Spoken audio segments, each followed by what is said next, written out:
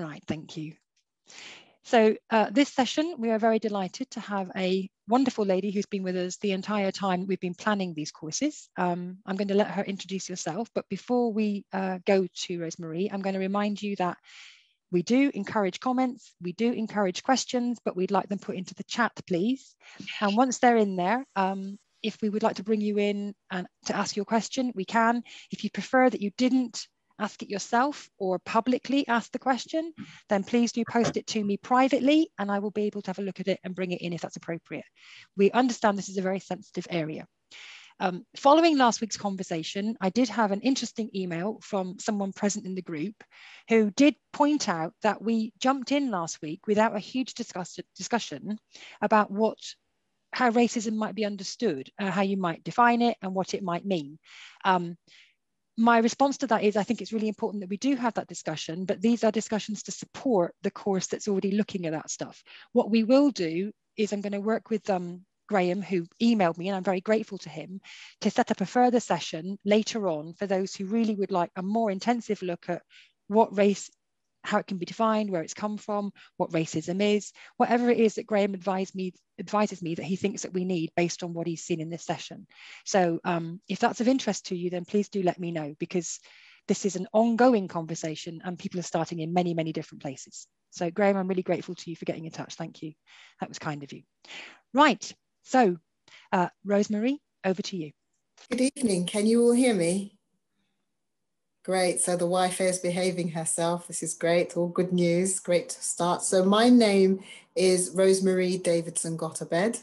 I am uh, currently the National Minority Ethnic Vocations Officer, which means that I am a resource to dioceses such as yourselves across the country as uh, they consider how to encourage um, and nurture and resource um, vocations among people of Black, Asian, and minority ethnic heritage. And uh, just basically a company and to de deliver, develop, and resources that will enable that. Um, and along and alongside that, for dioceses that say, well, we don't actually have a, a, a sizable number of people of Black, Asian, minority ethnic heritage in our churches, then the question is then how are you preparing for that eventuality? How are you preparing to be th- that pe- those people to welcome folk, uh, to welcome a, a, clergy person who would, may not be of the same ethnicity as you? So that's me in broad brushstrokes. Um, today we are going to uh, consider um, my, my title, which is The Future is Bright, question mark. And um, how I tend to do these kind of seminars is to ask questions, which are for you to then write down if you wish to, or if you've got an extraordinary, brilliant memory, uh, keep it in your head. I have a memory of a goldfish, so I write everything down. Um, and just and to illustrate that question with um, anecdotal stories or, or maybe another, maybe asking the question in a different way. So it's not a traditional lecture, if that's what you're used to. Um, uh, it's more conversational, but for the moment, one-sided while you get an opportunity to mull over the questions and, and maybe even come back with your own thoughts and reflections. So I'm hoping that this is very much an interactive time together. And um, can I just say that um, to reiterate certainly what was said to me, that this is a safe space for you to, to, to make the statements you wish to make and that there is really no such thing as a silly question. If you can't ask it here, you're going to struggle asking it elsewhere. Um, use me while I can, and if I can't answer your question, um, I generally know an extraordinarily clever person who, who can, and I'll put you in touch with him or her. So uh, are we ready to go? So the future is bright, question mark. Um, for those of us who are old enough to remember, that was uh, that was part, part without the question mark. It was part of the advertising campaign of a phone company that doesn't exist anymore called Orange, and um, I and it was and the uh, the the strap line, as I remember, the future is bright, the future is orange, and um, and it was quite. It's one of those things that stick in your head. But sort of fast forward uh, a few years, and another television or advertising campaign where uh, well, of a program called Orange is the New Black. And so one, I said at a, at a conference, the future is bright, the future is orange. And someone said from the audience, and orange is the new black. so yeah, yeah, I, I mixed in, in intelligent circles, but they've got a sense of humor. Um, it doesn't always match up. Um, and it's probably evidence of me watching too much television or being deeply influenced by, uh, by clever marketing. But we have to grapple with this thing of the future being bright. And the Bible, when we look at the future, we're thinking of our heavenly future. And the Bible gives us um, vivid and various images of what heaven is like. Of course, we know the Revelation 7 piece that you would already um, reflected on. Excuse me. and it sounds it sounds amazing, the various images of heaven. You know, no more tears, no more wars or rumors of wars. Every tribe and every tongue. It just sounds all too much to contain. And the list goes on.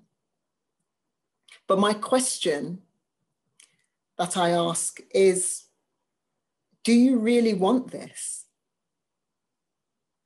Or do you want the heaven that maintains your advantage, your ethnic advantage, your class advantage, your gender advantage, your educational advantage, your professional advantage, or any combination of the above. Especially if we've been made aware of that advantage. Um, one of the one of the things that I I observe about scientists is that they have a theory and they, in order to prove that theory, they test it. And sometimes their theory doesn't match up with the results. The theory doesn't always match up with the results. What's your theory about what you want? Is this the heaven that you want? What is your theory? And as your life, your experiment, as it were, does that prove that theory? Is this the heaven that you want? When I lived in the States for a few years, I was fortunate enough to work with the Episcopal Diocese of Boston and the Episcopal Divinity School in, in Cambridge. Um, and I got involved with them as they um, rolled out the Seeing the Face of God in Each Other resource, which is a six week piece of work um, uh, where people consider what it means to seeing the face of God in each other. So it's very much an anti-racism, cross-cultural understanding piece of resource. And I, I trained to deliver that work um, among, among that team.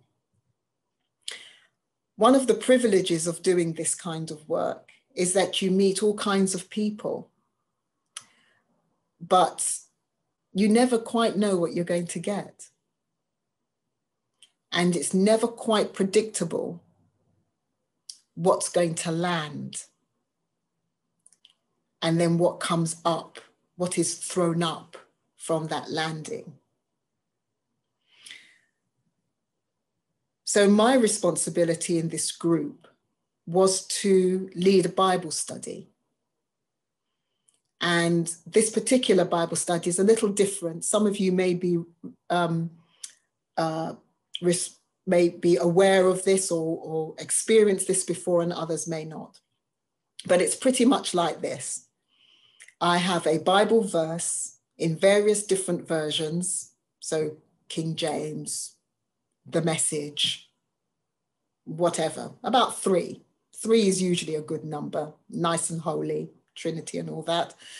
And I get somebody to read the Bible verse, and we have a period of silence while we let those words sink in.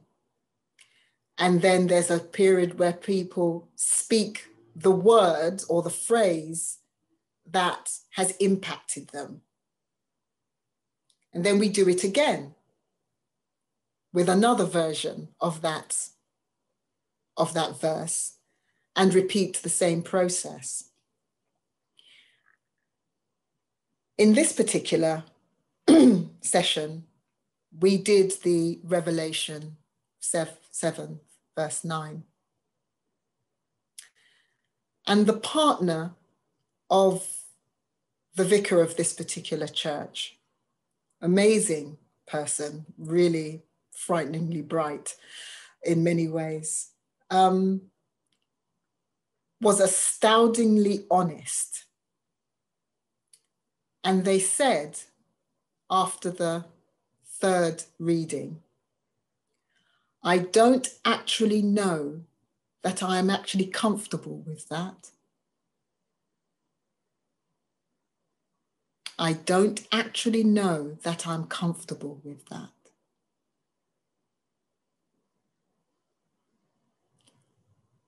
And you could have heard a fly cough in that room.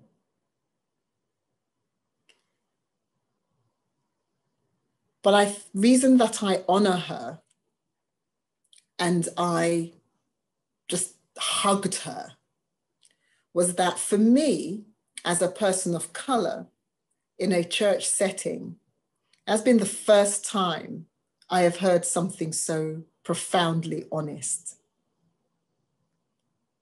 The first time I have to wait until I'm in my mid 30s before I hear that.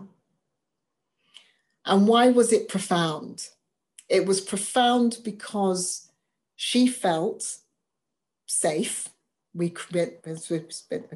we established that we were there to learn and that people were going to take responsibility for themselves, that they were not going to speak on behalf of obviously you, know the conversation well some people feel and some people think and that kind of cowardice hiding behind. We insisted that people used I statements, um, which meant that people who usually do this did this. But it told a truth, not that she didn't want it, but she wasn't sure that it made her, com- that she was comfortable with it. And here is a woman who has lived a very privileged life in America, uh, and we we've been made very aware of the race relations, if you can call it that, in America um, that have been going on since the founding of the country. But I honor her because she was honest. She wasn't sure. And what she signaled was, I, I am on a journey. And the reality of this verse has just hit me. Do I really want this? Am I there yet? So, my question is given where you are at the moment and the future being Revs, Revelation 7 9, Do you really want that?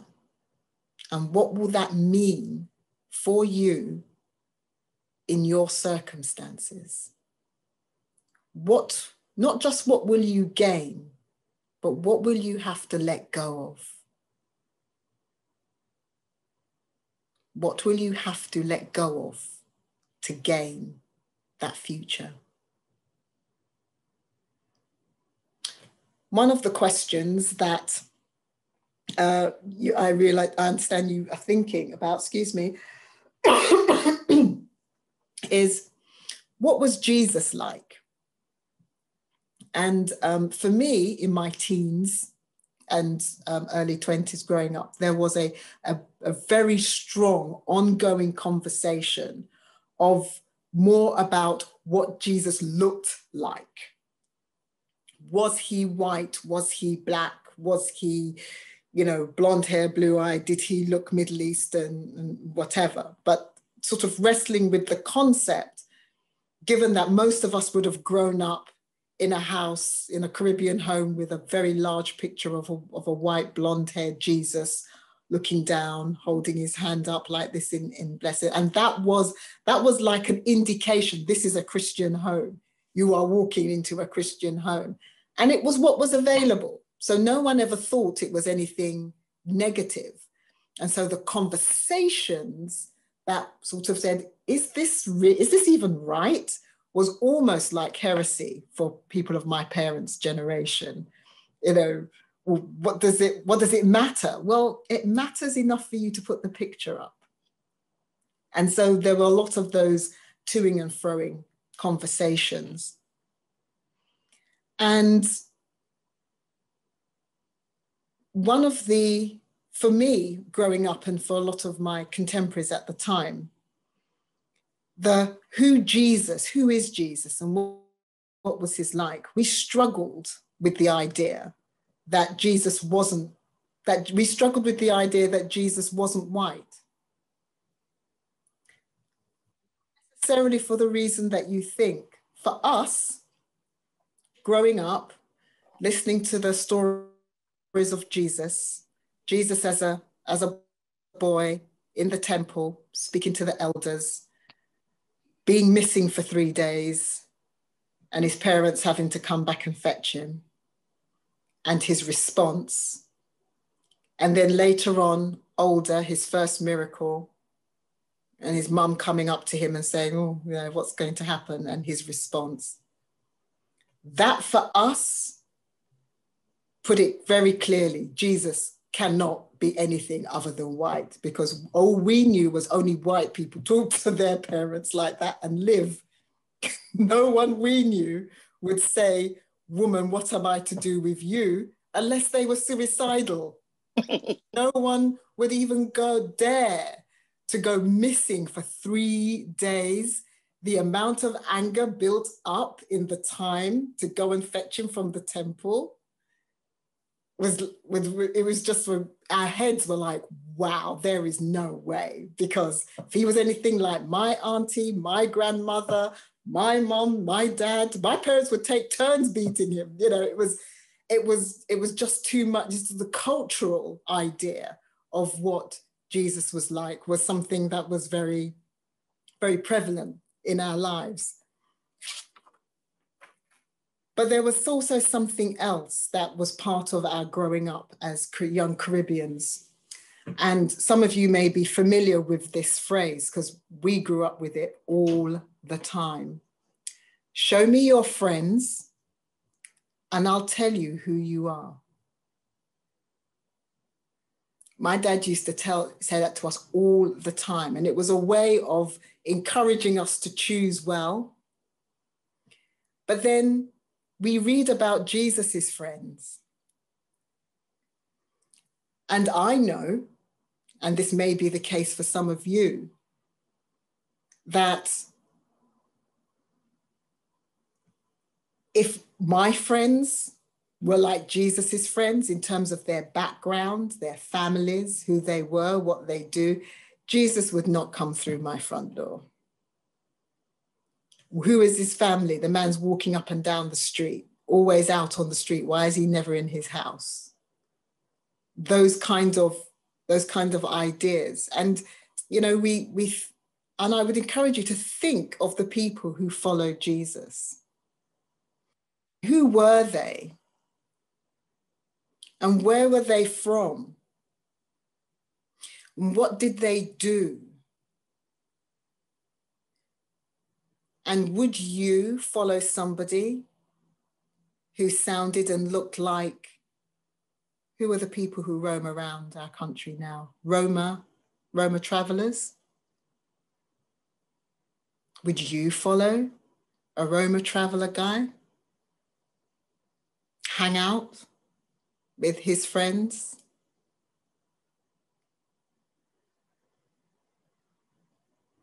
Based on my experience and observation of Jesus, were our were he on our streets today, he would still be executed. I've no doubt about that. No shadow of a doubt. He would still be executed. He'd probably even end up like George Floyd.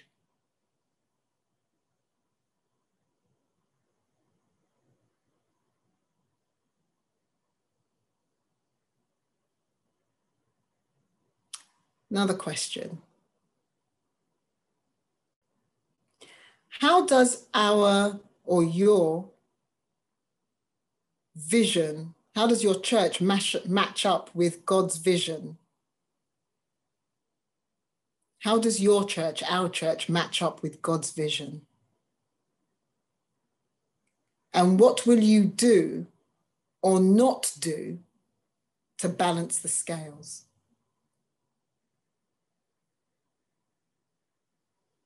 How are you going to do that?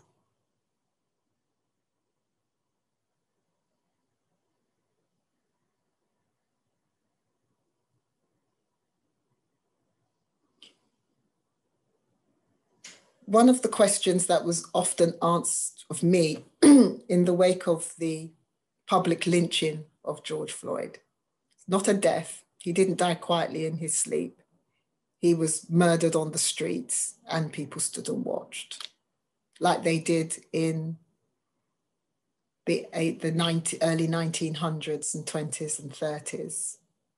Granted, this time there were no picnics and so on and so forth, but yes, he was murdered. And there were a lot of people who were saying, but you know, there's such a groundswell of people who are just thrown up and shocked and horrified by what they saw on their phones and their laptops and their iPads and, and just horrific. And how could this happen?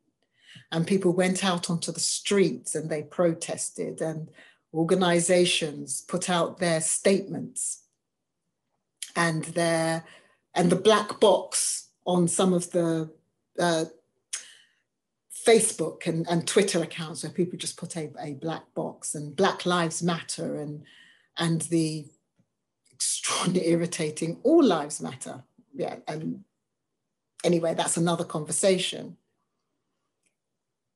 But what was really intriguing to me was people would say, but isn't this this groundswell? Isn't this sign of hope? And these were people who were about same age as me. I'm 54. There are people who are a bit older than me. So, so they would have lived through the 70s.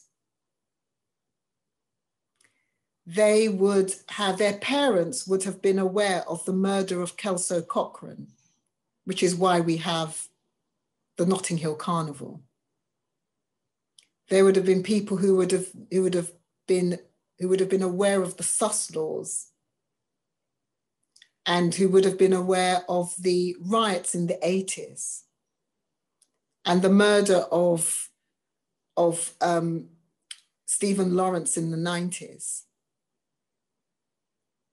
And you know, so each decade has its own George Floyd moment. And each decade throws up the same question What can we do? And the other one, my tell us your story. And I wonder what for what purpose? How is it that the questions, these questions that were asked by my predecessors, those people who were doing the work of racism awareness, anti racism, cross cultural understanding before I stepped up to the cold face, how they were answering the same questions that I end up ask, answering in my 20s and still get asked in my 30s and then get asked again in my 40s. And now, 2020, 2021, in my 50s.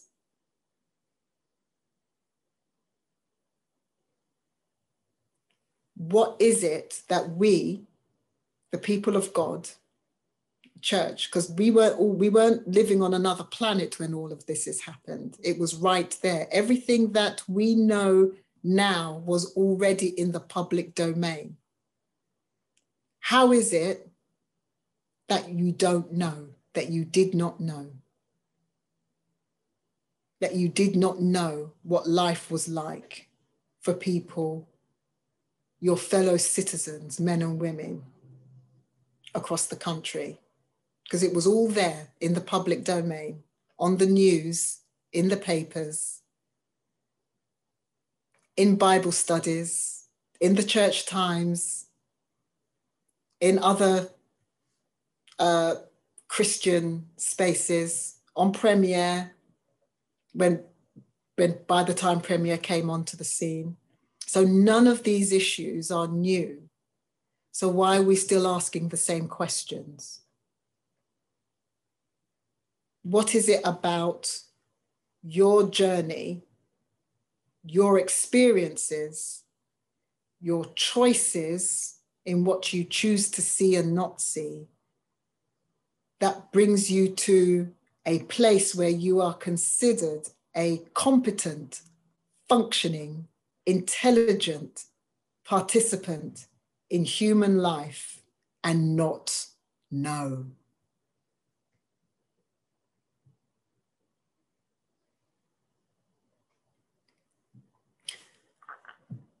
Twenty twenty one I predict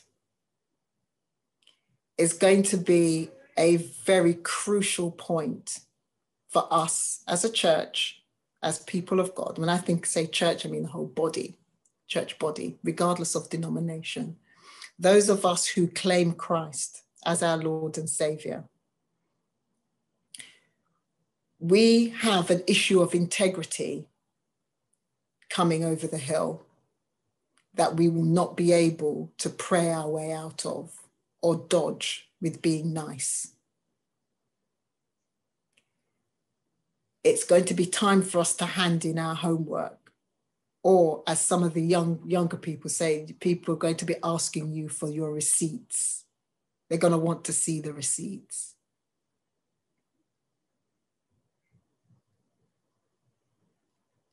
And they're going to ask you about stuff that you were required to do, that we were required to do at the point when we gave our life to Christ and became a professed Christian.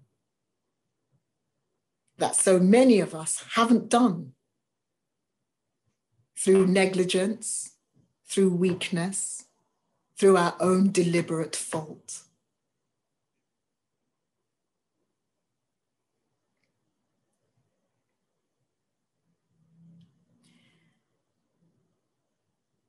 We need to be aware and careful of two particular codependent sins the sin of niceness and the sin of gradualism. This issue of racism has been with us for as long as it has because we tell ourselves these things take time.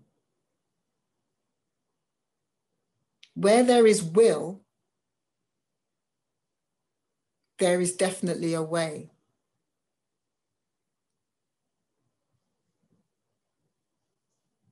we tell each other and we tell other Christians that when Christians get together and we pray for something, things happen. People's lives are transformed, countries are transformed, areas are transformed. Why has not this been transformed?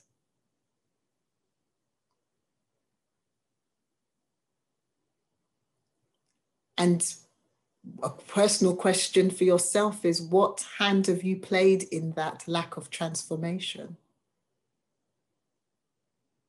Is it silence? Is it excuses?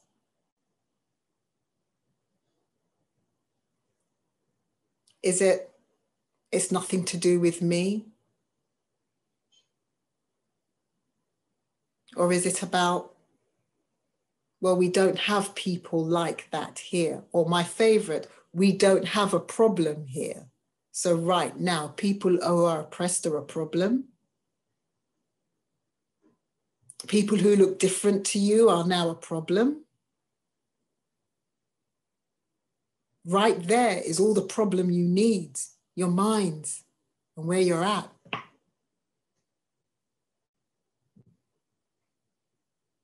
Being nice is not going to challenge racism, but being intentionally anti racist will challenge racism. When you grasp at that intentionality, you stand a better chance of grasping the heaven of Revelation 7, verse 9. But in grasping and holding onto that, and really holding onto it, you have to let go. You have to let go of your advantage. You have to let go of your comfort zone. You have to let go of, and the list goes on. But you have to start letting go of something. What do you need to let go of? Do you want that bright future?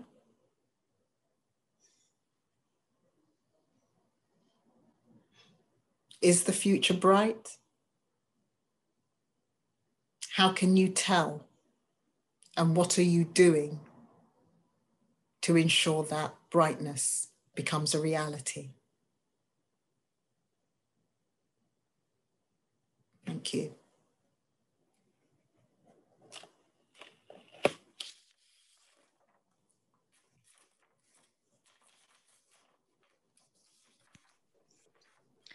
Thank you very much. That's a, uh, another very powerful presentation from the heart. Thank you very much, Rosemarie. That's very helpful. Um, we already have uh, a set of questions in the chat. Um, so, Andrew, would you like me to read that or would you like to read it yourself? Is Andrew? Why don't you just read it for me, Karenza? Okay, Andrew, I will do that. Discussion point. Thank you. Um, okay, so Rosemarie, I'm sure you can see it in the chat, but I'll read it anyway for those who okay. are listening as a podcast version after this. okay, I'll just find it. Hold on a second. So sorry, Eileen just jumped in there with the next question. surely, surely there's no problem with heaven being filled, populated with my advantages. Do mm. I really need to have to apologize for them? Mm. What is important is to work so that everyone, as far as I can make it possible, can share these advantages and opportunities. The problem surely is if I think or act as though my advantages make me a superior person or that I want to protect them or keep them to myself. Yes. yes. Yes when you realize, when you recognize that your advantages hinder the journey of somebody else, because not everybody, not everybody recognizes that.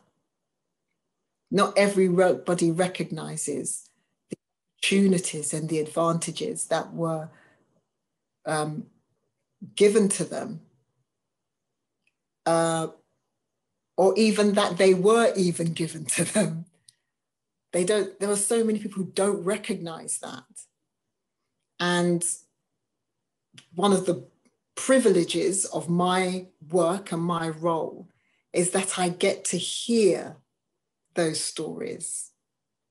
I get to hear the stories of people who suddenly recognize that the advantages that they have had have not entirely been by them pulling themselves up by their bootstraps, for example.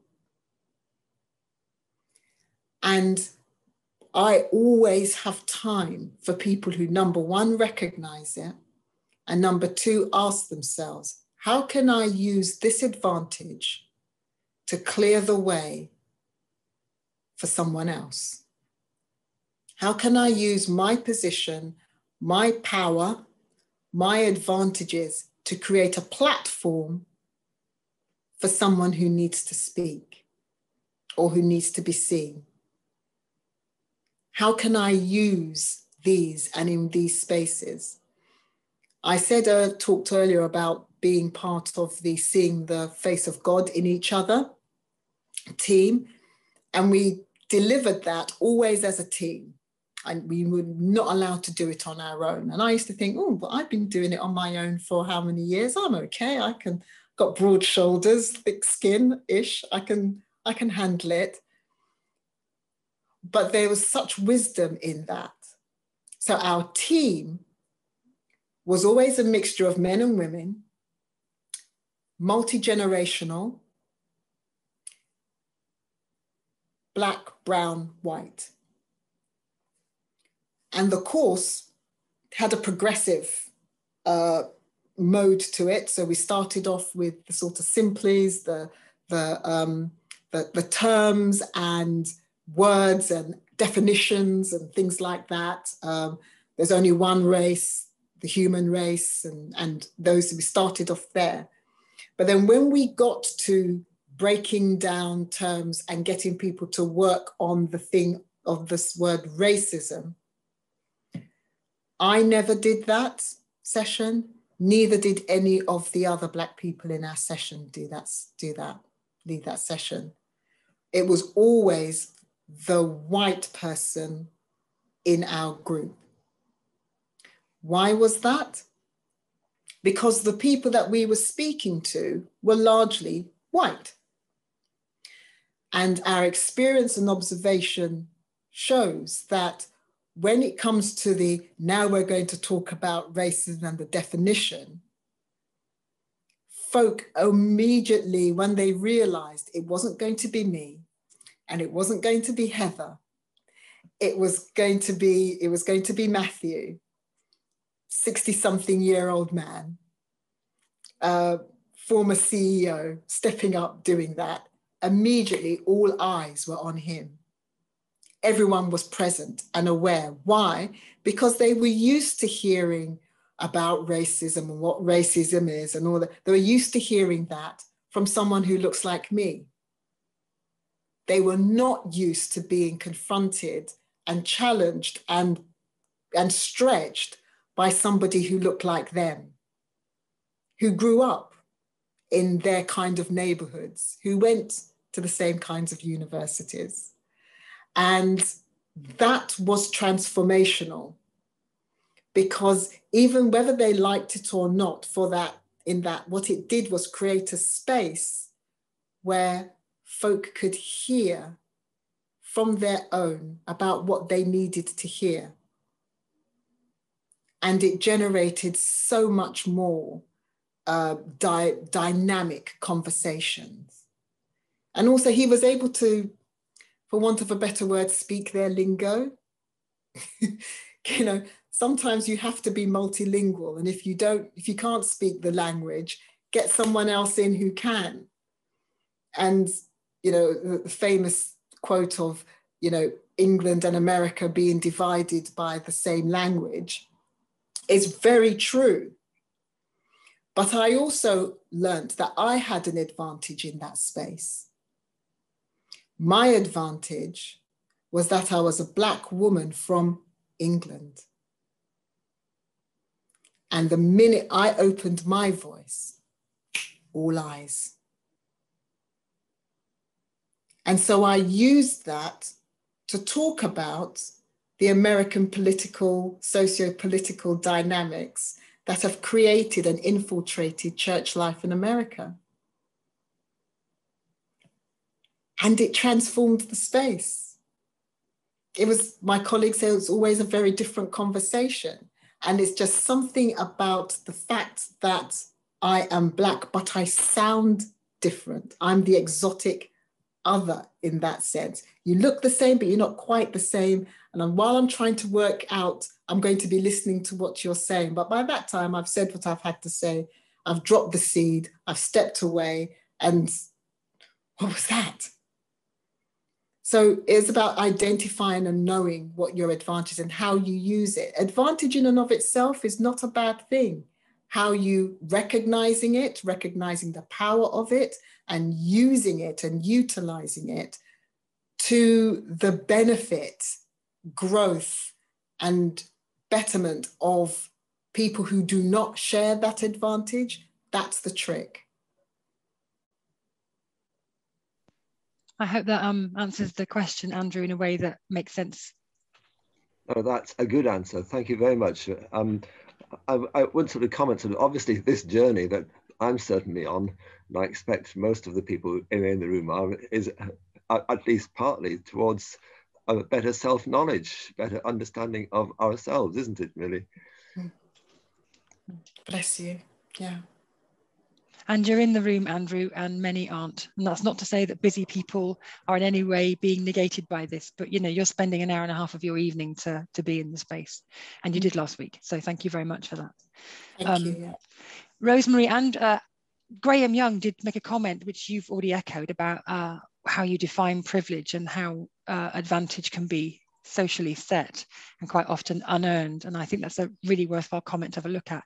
Mm. Advantages mm. often called privilege is societally granted. Unearned advantages accorded to some people and not others. Mm. And you illustrated that by your comment about being in the US and being listened to. And mm. anybody, any of the clergy in the room who've tried to say something to their parish, and then the archdeacon walks in and says it, and you've been, I've been saying that for ages, will know how that, yes. how that feels. What is that? what is that? you know. Um, yeah, but, got... but likewise, women in women in in particular. Um, in particular situations and business situations, um, I have a friend of mine who, who grinds her teeth in in frustration would say that she she'd be in a in a board an executive board meeting and she would say something and people would sort of mm, and, and, and write it down and then the person further on down the table who's junior to her maybe even part of her team would say exactly the same thing. And he'd be like oh yes of course yes yeah. The, the, energy in the room, she'd be like wait hang on did i just step off into the twilight zone? What just happened here? And if there's any doubt about that reality, actually, someone in the room was telling me that this has happened to them this week several times who's in this space. So this is not something that's not understood. The, um, the, the trendy word, intersectionality, the, the crossing over of the different categories of privilege, mm. your, your sex, your education, your money, all those things conflate on each other. And we could actually probably it, it, we, I don't want us to do this, but it'd be an interesting exercise to screenshot all of our pictures and then mm. get those organized in terms of who has most privilege to least privilege in this space. Mm. Because we could organize that right away. Mm. So we're all privileged, but even in this space, that would be mm. that would be a, a, revealing thing to do. I'd like to bring Jane in because she's got a really interesting comment. Jane, can I bring you in and you can speak for yourself, please? Um, Rosemarie, thank you very. I can't see you on my screen at the moment, but thank you. Very, I can see. I can see your glasses. you need to change the view or something. Um, thank you very much. I really enjoyed that. I was fascinated by what you by what you said about the impact that the art of the white male Jesus um, had on you and other people growing up with you. Mm. Um, and I wondered what your comments would be on how we should use or interact with art that exists already and is already in our churches. I mean, this has been mm. this is something which is problematic in so many different contexts. Um, mm.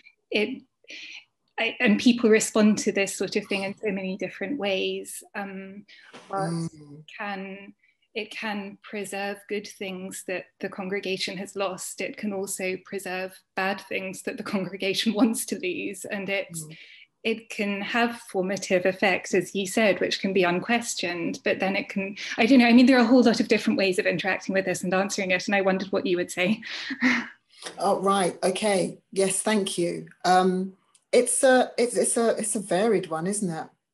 Um, personally, I'm all about context, and I'm all about people being willing to tell their stories. One of the things that doesn't happen in our church life together.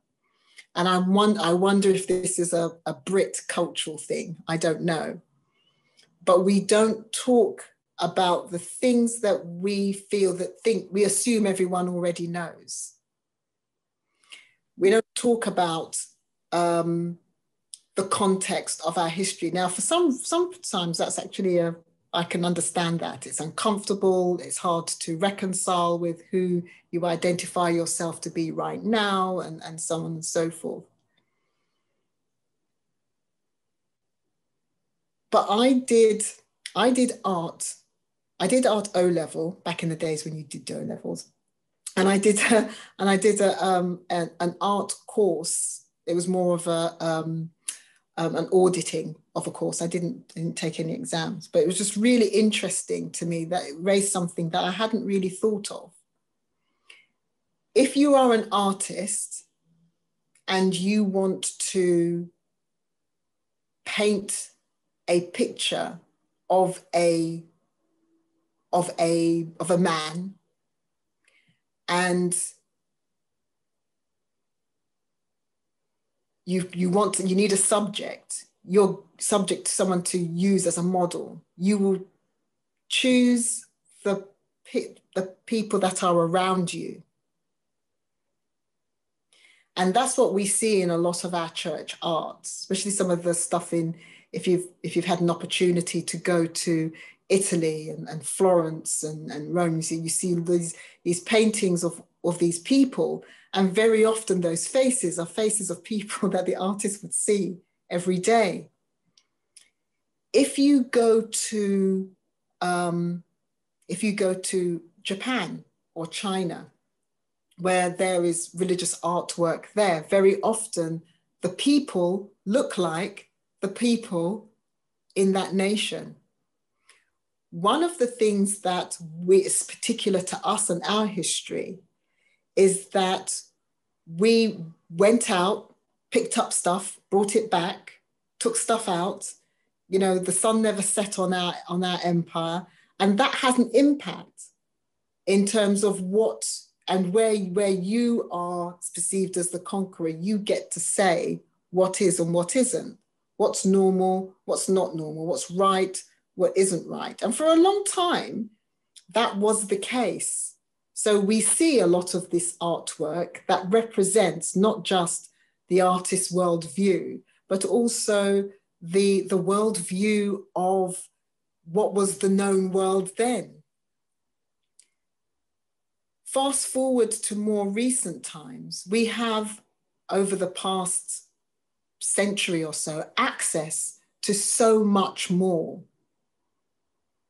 different types of art, different types of interpretation. I don't know.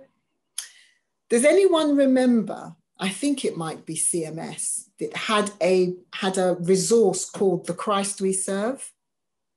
Any that that build and it had oh thanks I, I didn't imagine it and it had um, images of Christ from around the world and the imagery that was used was extraordinary.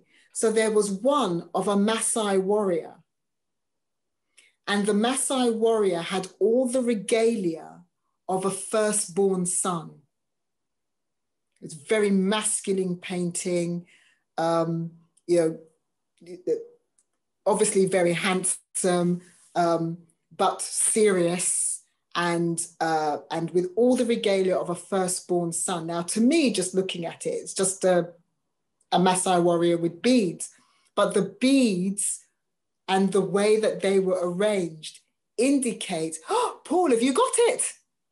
Paul's got it. Oh my gosh, bless you. we've also got uh, we've also got I think five sets of the Christ we serve and multiple other sets in the resource centre, Rosemarie, all available to people here. Oh, brilliant! And yes, that's it, Jan. Could you hold it up again? Yes, and some I did a I I I like to go to various courses and and and and things like you know talk about theology and and how we see and how how we see God and how we speak about things of God in our modern day.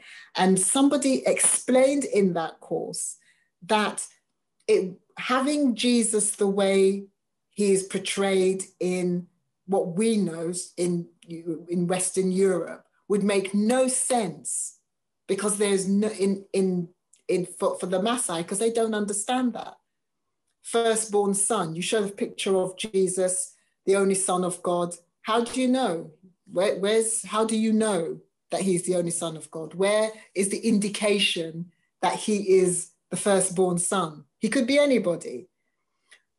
But that picture very clearly that this is the firstborn son.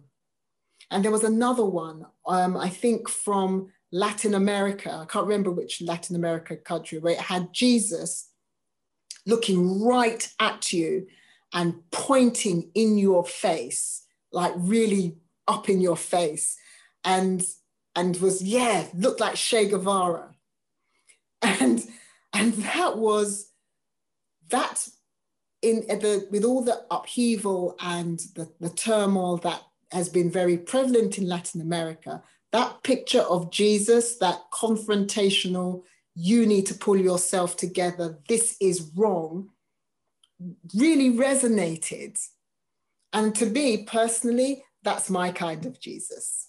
That one there, the guy that goes in and turns up and up into people's faces. That's my kind of guy. So when I think of Jesus, that's the Jesus I think of. That's the guy that I. That's that's the person I follow. Um, and it was just very interesting to me when I used it in different settings, how people responded to those various images.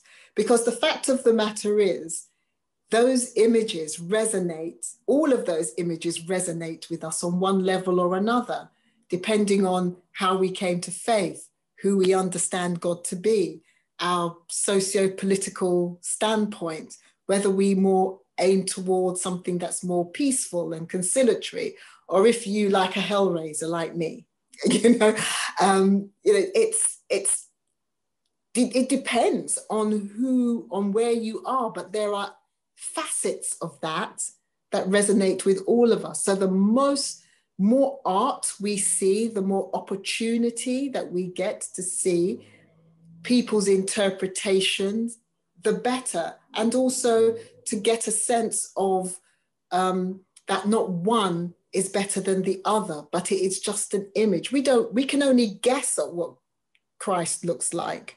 We have a broad brushstroke outline, but we can only guess. But we have a we have a sense of aspects and facets of his personality in the Bible. And one of the wonderful things about art is that artists can interpret that for give visual visualization to those facets. So if we were to get all those images and wash them together, we'd probably get the closest we'd ever get to to Christ. But it's a but to talk about it and to be open about it and um, and to put the art that we have in our churches in context and and talk about that and allow people's frustrations and lack of knowledge to raise so that you can talk about that too and maybe fill in the gaps for yourself and maybe even for them is really important. Don't be afraid of the conversation. Thank you. Right, that's very, very helpful question. Has anybody else got a question they'd like to ask before I basically follow on from the stuff that Rosemarie's just said about how we can resource better? Uh, I'm not going to go on and on about this because um, we don't have time, but we've got another question. Graham has saved you from me. I will tell you, you will hear from me. But first, I want to hear from Graham. Graham, jump in. Where are you, Graham? Uh, thanks, Karenza. And I, have written the question out there that Rosemarie can probably see. I mean, the, there's yeah. a, a well-known cycle that uh, yes. people go through uh, who are brought into organisations to deal with uh, racism, anti-racism, or the dismantling of racism within an mm. organisation, mm. where they, they go through a honeymoon period. They're welcomed. They people say they want to hear what they've got to say, yada, yada, and then yada, yeah. the organisation mm. um, has some of the problems reflected back to it by that person of colour. Um, and then all of a sudden, the organisation starts to kick back a bit and react, and then the person of colour, you know, becomes to be seen as a bit of a problem, and uh, they become the problem.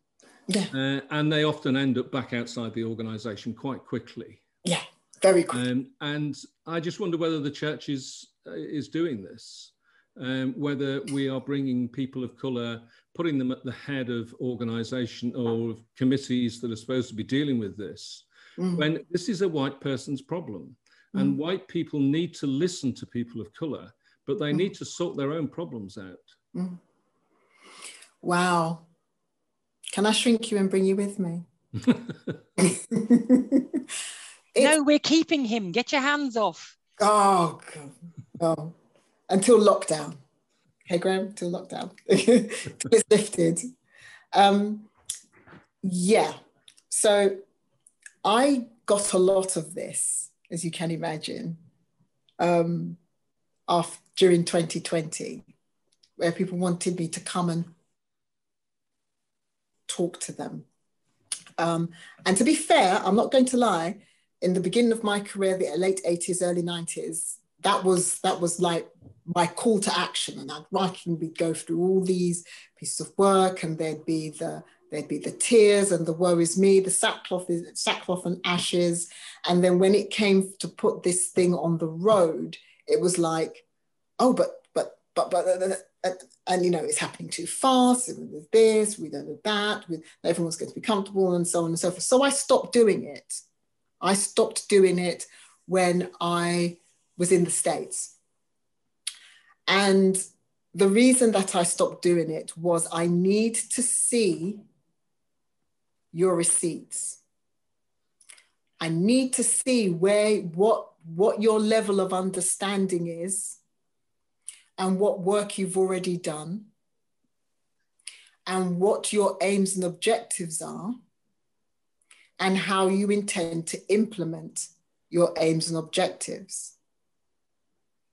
If you say, well, we don't know what our aims and objectives are until we've done the, that, excuse my French, is BS. It is rubbish.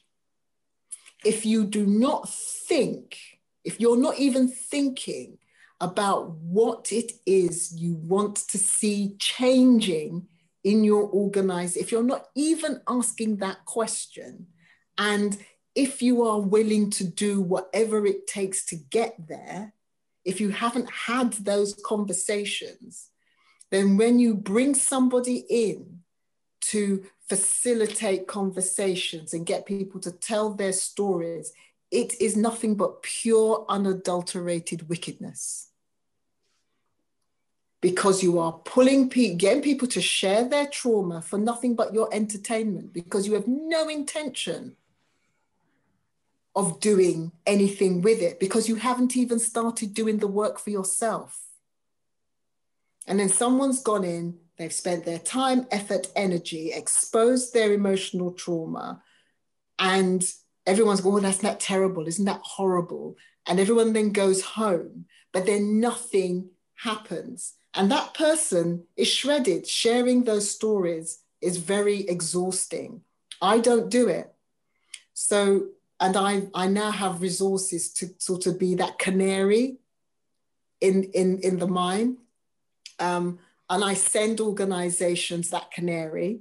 They don't know it's a canary. And then when I ask them about it, if they can answer my questions, then we can start having a conversation. But if they can't, I know they've not engaged. So I said, I don't think that this is worth your time or mine. And I walk away. Intentionality, it's very powerful and it's a very good canary. Thank you for that. That was really helpful. Uh, at this point, I'd like to bring Remy in. Um, is someone who can speak for himself. Remy? Thank you.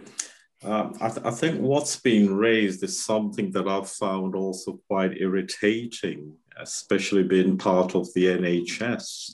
Mm-hmm. And one of the things, especially in meetings, I've always found that people are invited to share their stories, you know, stories of pain. Mm. And I've been very clear in emphasizing that people are wounded, uh, that all we do is invite people to be wounded again and again. Mm. And the big problem is the system never changes. And it's equally putting people in positions that does nothing if that person is not allowed to influence things. Mm. Most people would refer to that as being able to co create. And we see a lot of that in our society and in institutions. And I think that's something we need to be very vocal about. And I'll use myself as an example.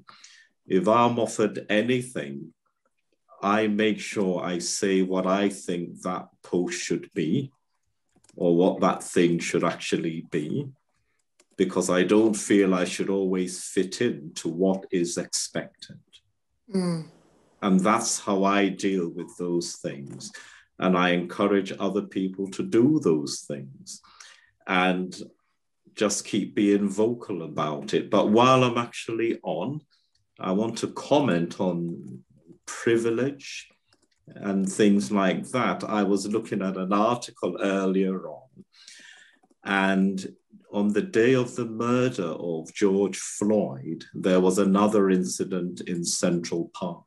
Mm. That incident was of a lady, a white lady, who was in a confrontation with a black gentleman.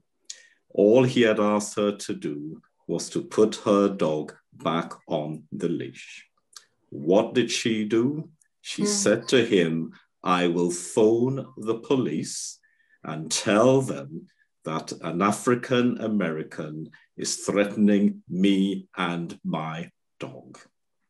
This gentleman recorded this conversation. What was she actually doing? She felt she was in a position of privilege. And so she acted out that privilege but she acted out that privilege to a structure, which was the police, who feel they are to preserve something and they were to enforce something to an individual to remind him that he doesn't belong and needs to be put in his place. And I thought I'll just give that slant around privilege where it's deep down in an historical context. And when you read back the history, people of color have always been told they need to subscribe to what is expected of them. Mm. So, how dare this African American tell this lady to put the leash on her dog? He shouldn't have the audacity to do that. Mm. And we keep seeing that recycled again and again. And for those of you who are here and those who can't be here, I think it's really positive because what we're mm. able to do is to inform ourselves, to get an understanding of these things. So when the moment comes, we can challenge those people who do not know those things. It irritates me when people say, well, but they're only a minority. well, what are the majority doing? Mm. Those minority for me are just ignorant and they need to be informed, not in an aggressive way, but what we're doing here today is learning. I'm learning so that I can inform. I think I'll stop there so I can now Karenza to, you know, give her a bit. Thank you. Thank you, Andrew's. Uh, thank you, Remy. Andrew's just noted in the clip that um, he said, didn't the police quickly realise that she was wasting their time? Mm. That really isn't the point. The point is that she thought she could use that as a weapon, and mm. the other point is that the police didn't come uh, with a gun and shoot her mm. because she was a white woman. So why would you do that? They so came with weapons drawn. Yeah, exactly. It's an institutional. It's an inst- She wasn't shot, and you know, and if if someone reports a white in those situations, uh, white people are tiny percentage of those who get shot without even being uh, ad- addressed those issues. I do think a, what we sorry, Rosemarie. there, there is there is a um, an issue here that I think very often it's easy for us to sit here and look over at America, mm-hmm. oh tish tish, and not pay attention to the stuff that's happening right here on our, on our watch. What Stephen Lawrence and the lack of convictions, for example. Stephen, I saw a video, some of you might have seen it, of a, a, a, a, a performance poet who was talking, who did a poem in response to George Floyd and made reference to the Stephen Lawrence murder. He said when in, in there, if I can find the, if I can find it, I'll, I'll forward it. But if you listen to it, he said, when Stephen Lawrence was murdered, I was three. And when his murderers were convicted, I was 24. So if anyone here can, can show a comparison of a young person who is murdered and the murderers known to the police, and it take two decades for a conviction, I would love to hear that case. And that is just the tip of the iceberg. People being beaten, people being arrested by the police and then and being taken away, probably yelling and, and screaming, but but submitting to being arrested and then ending up in intensive care. I think one of the things that's come up in the chat, Rosemarie, is a really important point. Um, and actually, the Resource Centre has been working very hard over the last two years to try and address this with the RE curriculum. But Angela says what is taught in British schools is the American civil rights movement and not the Brixton riots. Hey, that's and true. I, now I lived in the I lived in the I'm the same age as you, Rosemarie, and I was a university student who lived in Brixton during the Brixton riots, um, mm. which was an interesting experience for me. Me too. yeah, well, we live there, must be near each other. We're neighbours. Um, and um, one of the things that we know is that the school's curriculum is institutionally racist. Mm when you learn a modern foreign language, you do not learn to talk about the spirit, the dreams, the aspirations, the love life of the people around you.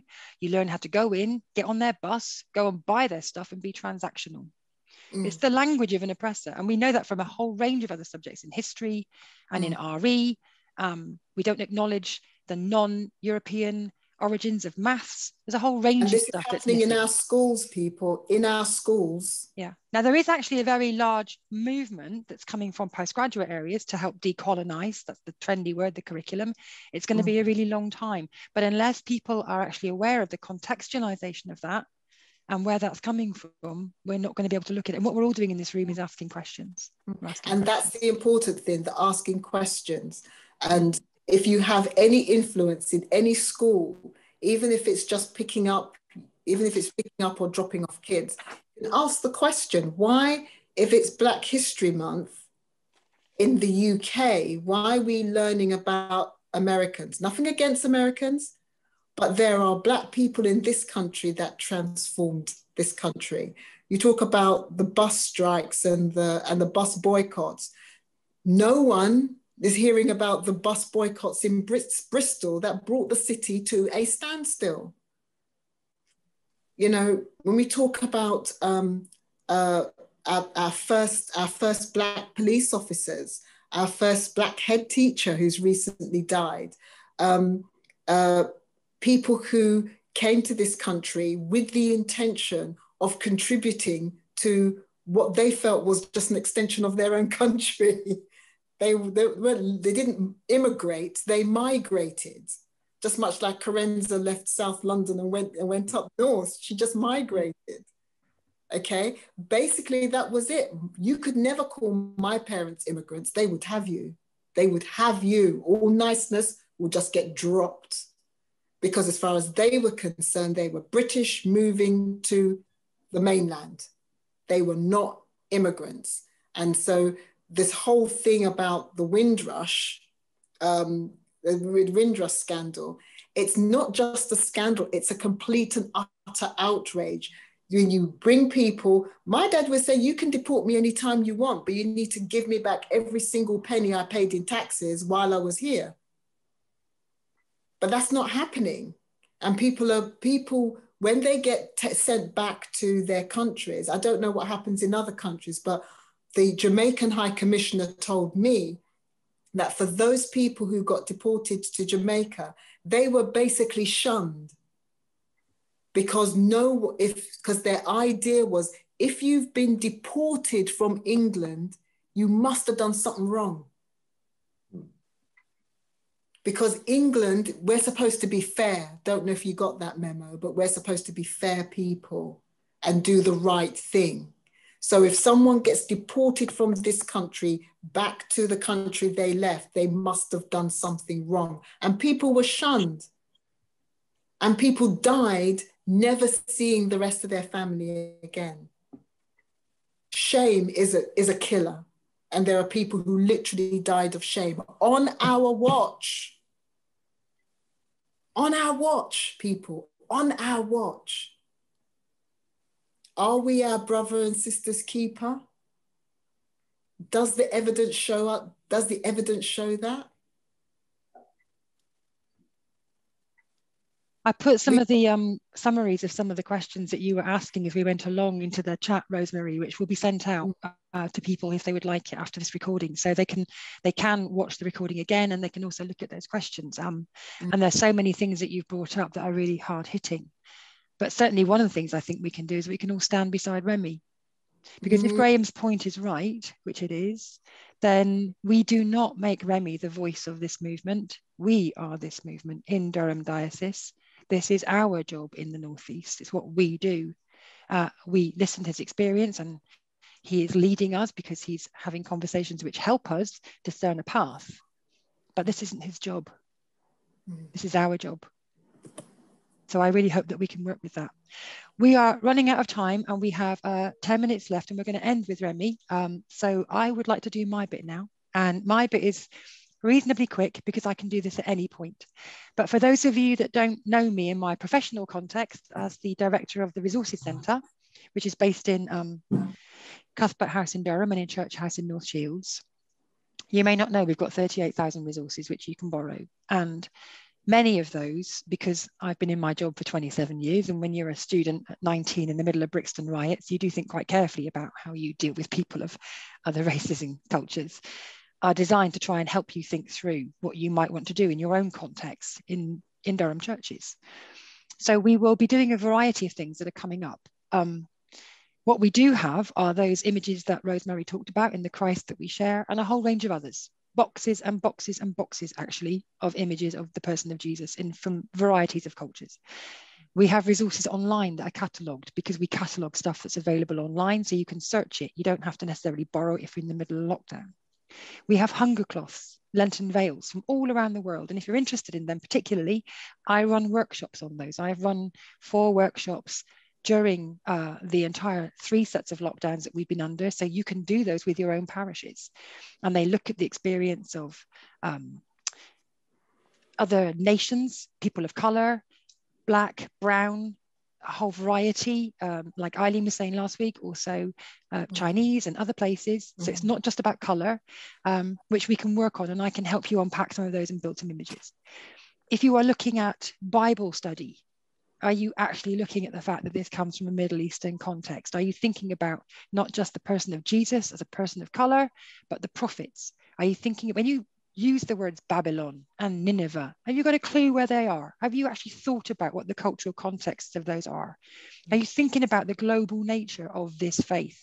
Mm. When you think about what a Christian looks like, are you thinking about a black woman between 24 and 34? Is that the image you're giving your congregation and your kids? Because they're the majority in the world. Mm. That's who the majority Christian is. That's what they look like.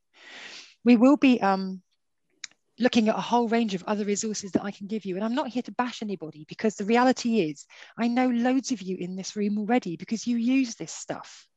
You know, Roz in her college setting, and Alison in her parish setting, and Andrew I've known for many years. There's a whole range of you, Michael, who I know use us and have these resources, but you might not have thought about them in this particular context. And I'd like you to. My sister was a children's librarian. She rang me up and said, Do you know in 2017, only 3% of all the fiction published in the UK had a child of colour in it? That's it. So some regions of our country have 50%, 60%, 70% children of colour, and yet not one of the children's fiction books that they're offered has someone like them in it.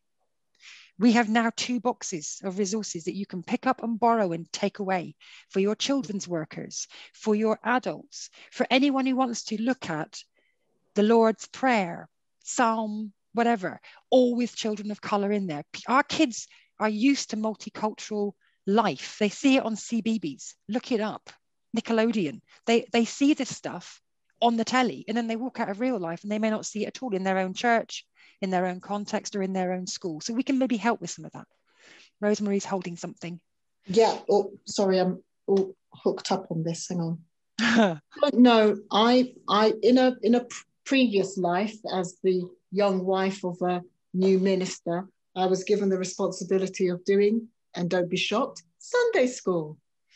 Deep joy. Anyway, so um, what what what was a uh, a challenge to me was that the work that we had, the stuff that we used for our kids who were all black, apart from one white family who had small kids, um, that the the Scripture Union resources did not reflect them.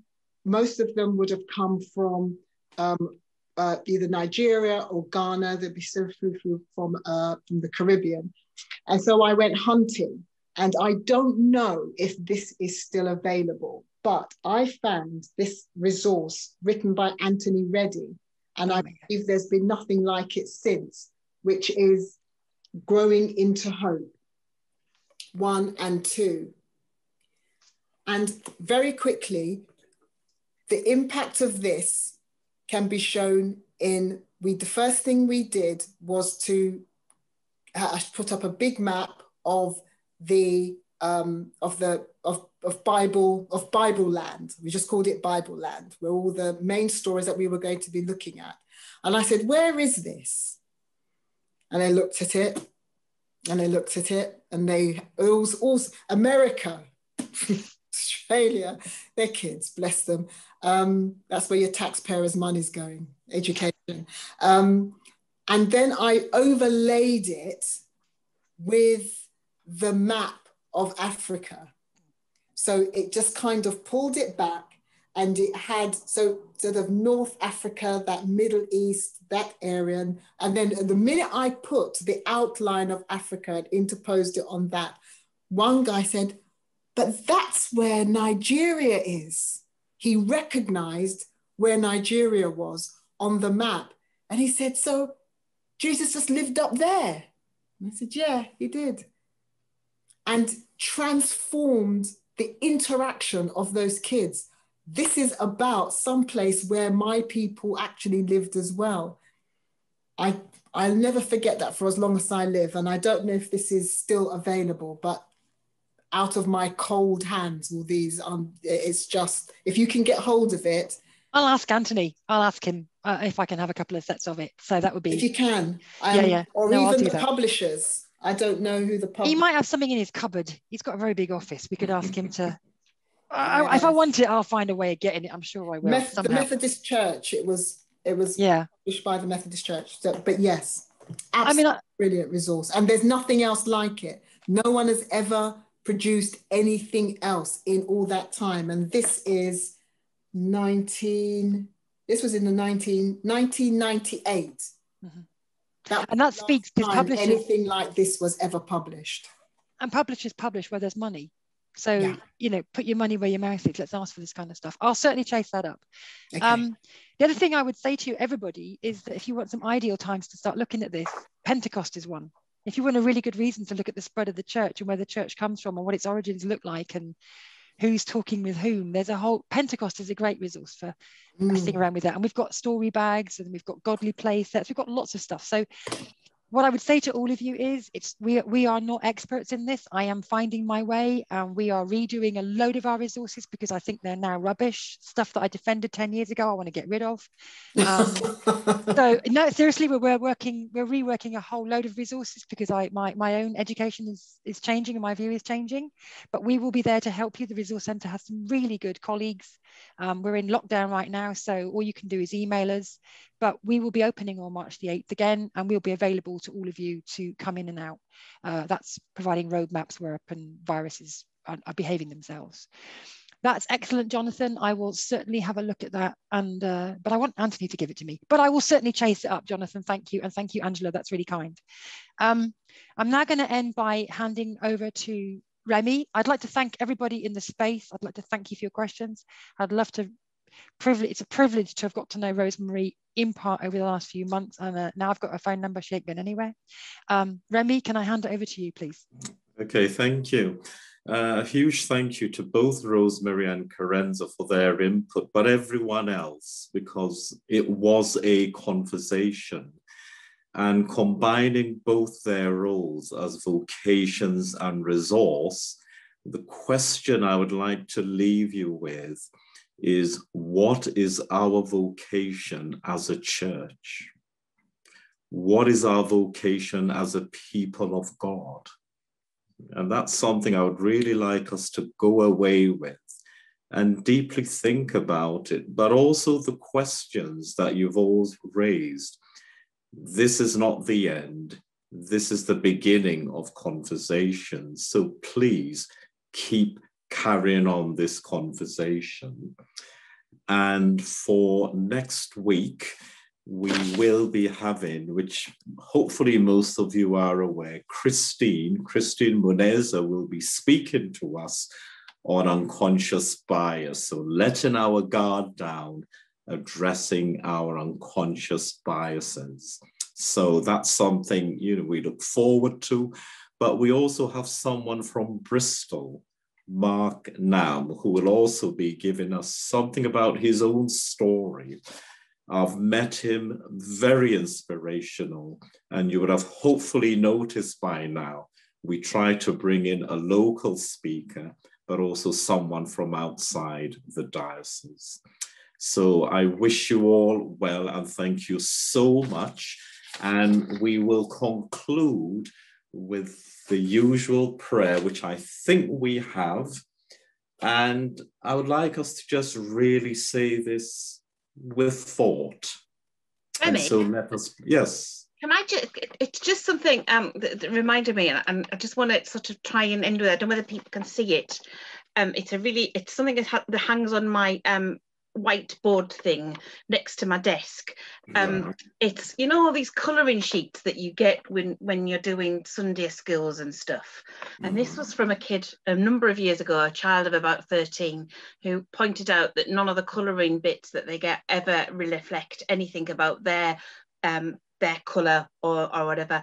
Um, and so he he coloured she coloured this in in and you can you can't really see it but the the vicar's green the baby's blue mm-hmm. and this this one here is sort of pink and they've just written jesus loves you anyway whether you're green blue pink or question mark and i think that was just a slight act of rebellion by a child or a teenager and it was just an awareness that we give out things and we just don't think and, and I hadn't thought until they did that and thought, yeah, I hand out loads of colouring sheets with nobody of any other color but yeah.